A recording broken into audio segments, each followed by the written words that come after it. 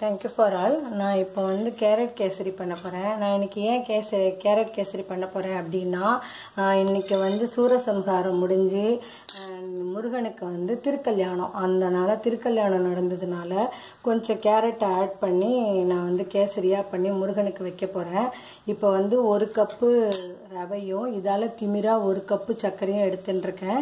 இதால் ஒரு கப்பு ரெண்டு கேரட்டு பாலில் வேக வச்சு ஏலக்காய் போட்டு அரைச்சின்னுருக்கேன் முந்திரி பருப்பு வச்சுட்டுருக்கேன். இப்போ நான் இப்போ முந்திரி பருப்பை வறுத்துக்கிறேன். வருஷா வருஷம் சூரசம்ஹாரம் நடை நடக்கிறது. ஆனால் வந்து வருஷா வருஷம் சூரசம்ஹாரம் நடந்தாலும் சம்ஹாரம் பண்ணலை சூரனை.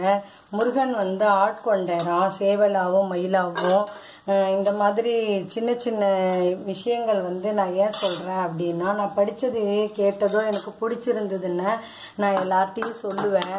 அது மாதிரி நானும் இதை சொல்கிறேன் கதையாக சொல்கிறதுக்கு நிறையா பேர் இருக்கா? பெரிய பெரிய லெஜெண்ட்லாம் இருக்கா? அவளை மாதிரிலாம் சொல்ல முடியாது. அதுக்காக சொல்லலை. எனக்கு பிடிச்சிருந்த விஷயத்த நான் ஷேர் பண்ணுறேன் உங்களுக்கு பிடிச்சிருந்தா யாரானு கேட்டால் எனக்கு நல்லது அப்படிங்கிறதுக்காக நான் கதை சொல்ல மாட்டேன். கதை சொன்னேன்னே என் பையன் வந்து நினச்சிட்டு எனக்கு சிரிப்பு வரும். என் பையன் படிக்கும்போது நான் சொல்லுவேன் ஏய் எப்படி தெரியுமாடா படிக்கணும்? ஒரு குரு வந்து இந்த இதை எடுத்துன்றேன் இதில் வந்து ரவையை போட்டுக்கோங்க சிம்மில் வச்சு வறுத்துக்கோங்க. என் பையன்கிட்ட எயித்து படிக்கும்போது செவன்த்து படிக்கும்போதெல்லாம் இந்த மாதிரி சமைச்சுட்டு இந்த மாதிரி கதையெல்லாம் சொல்லுவேன். அர்ஜுனை பற்றியா கரெக்டாக அடித்தான் பார்த்தியா அப்படின்னு த- துரோணர் கேட்கும்பொழுது அப்படின்னு சொல்லுவேன். அதுக்கு ஒரு ஆர்கியூமெண்ட்டு பண்ணுவான். அப்புறமா எப்படி திரும்ப படிக்கணும்? ஒரு குருநாதர் வந்து எல்லா பசங்களுக்கும் விளக்கண்ணை குத்தினாராம். ஒரு பையன் மட்டும் நன்னா சாப்பிட்டுட்டானா மற்றவாலாம் சாப்பிட்லையாம். பார்த்தியா அந்த மாதிரி டேஸ்ட்டே தெரியாமல் அவன் படிப்பில் நாட்டம் இருக்கிறதுனால அவனுக்கு சாப்பாடில் டேஸ்ட் இல்லை. அதனால அவன் சாப்பிட்டுட்டான். படிப்பு தான் முக்கியம் அப்படின்னு நான் சொல்லுவேன். வந்து ஏ- ஏம்மா ஒத்த சாப்பிட்லன்னா அத்தனை பேர் சாப்பிடாம உடனே கண்டுபிடிச்சி நல்லா அலாட்டாக அட்டன்டிவாக இருக்கானுங்க. அவனுக்கெல்லாம் வந்து குட் ஸ்டூடெண்ட்டு கிடையாது.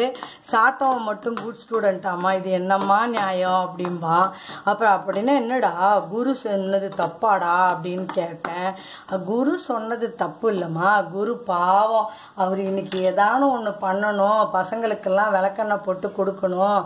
எவன் சாப்பிட்றானோ மற்றவன்லாம் சாப்பிடாம எவன் ஒருத்தன் சாப்பிட்றானோ அவன் குட் பாய் எவன் சாப்பிடாம மற்றவன்லாம் சாப்பிட்டுட்டு பயந்துண்டு எவன் சாப்பிடாம இருக்கானோ அவன் குட் பாய் எல்லாருமே சாப்பிட்டுட்டானா என் ஸ்டூடெண்ட் எல்லாருமே குட் பாய் அப்படின்னு அவர் சொல்லணும்னு டிசைட் பண்ணிட்டாரு.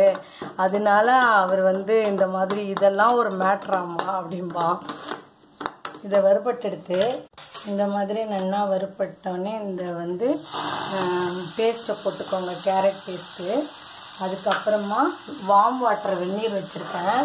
இதால் எந்த கப்பால் ரவை எடுத்தோமோ அதாலேயே அதையும் கொட்டிக்கோங்க.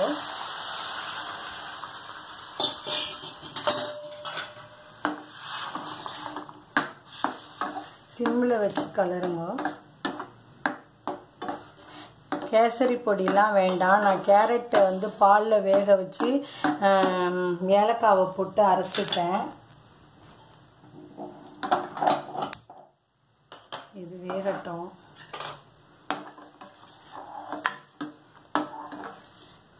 நான் வந்து எப்படியும் அவனை ஜெயிச்சிடணும் அப்படிங்கிறதுக்காக இரு.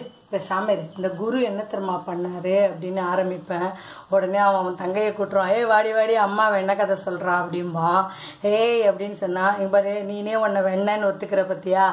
அம்மா வெண்ண கதை சொல்கிறான்னா நான் கூட்டேன் அம்மா வெண்ண கதை சொல்கிறான் தானே சொன்னேன். நீனாவே ஏன் உன்னை வெண்ணன்னு ஒத்துக்கிற? பத்தியா பத்தியா உன்னை வெண்ணன்னு ஒத்துக்கிற? அப்படின்னு அவன் சொல்லுவான். அது மாதிரி நல்லா ஜாலியாக ஆர்கியூமெண்ட் பண்ணுவான். எனக்கு அதனால் கதை சொல்லும் போதெல்லாம் ஏதானு சொன்னேன்னா எனக்கு அவன் ஞாபகம் வரும். நான் வந்து இன்ஃபார்மேஷன் மட்டும்தான் நான் ஷேர் பண்ணுறேன் நீங்கள்லாம் கேளுங்க. அவனும் கேட்பான் நல்ல பையன்தான். நான் இப்போ வந்து ஒரு கப்பு ஜீனி குத்திக்கிறேன். ஆனால் அவன் இருந்தால் பொழுது போயிடும். கடைசி வரைக்கும் அந்த குருநாதர் கதையை வந்து நான் சொல்லும் போதெல்லாம் வேற வேற இதில் சொல்லும் போதெல்லாம் அவன் வந்து ஏதானும் ஒரு ஆர்கியூமெண்ட்டு பண்ணி என்னை வந்து ஃபெயிலியர் ஆக்குவான். அவன் சொல்கிறது நிஜமாக இருக்கிறாப்புலையே இருக்கே அப்படின்னு நான் லாஜிக்காக இருக்கே அப்படின்னு நான் யோசிப்பேன். அவ்வளோதான் இது ரொம்ப கெட்டியாகிடும் கெட்டியான உடனே ஆஃப் பண்ணிட வேண்டியதான் அதனால் முருகனை வந்து சேவிக்கிறது வந்து ரொம்ப ஈஸி நம்ம கட கட கடன்னு போய் முருகன்கிட்ட எல்லாத்தையும் சொல்லிட்டு வந்துட்டால் முருகன் உடனே ஓடி வந்துடுவாராம் அவ்வளோ இலகின மனசாம் முருகனுக்கு. மன்னிக்கிற குணம் ரொம்ப ஜாஸ்தியாம் மற்ற முருகான்னு சொன்னால் முகுந்தன் ருத்ரன் கஞ்சன் விஷ்ணு சிவன் பிரம்மா. மூணு பேரும் சேர்ந்தவா தான் முருகனா. பாருங்கள் இது கெட்டியாக எடுத்து. நான் ஆஃப் பண்ணிடுறேன்.